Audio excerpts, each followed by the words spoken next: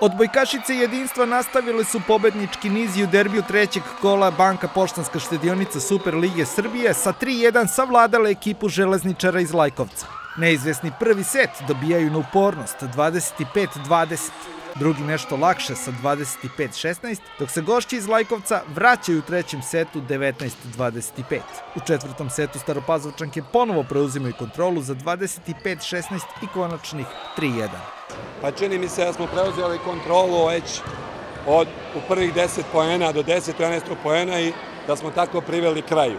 Šta je suština? Suština je da mi napredujemo u odnosu na današnje izdanje, jer nas čekaju narednih dana sve ozbiljnije i ozbiljnije utakmice. Ekipa Pazova je dosta duže na okupu, iako su to mlade igračice duže u igranje stvarno tim.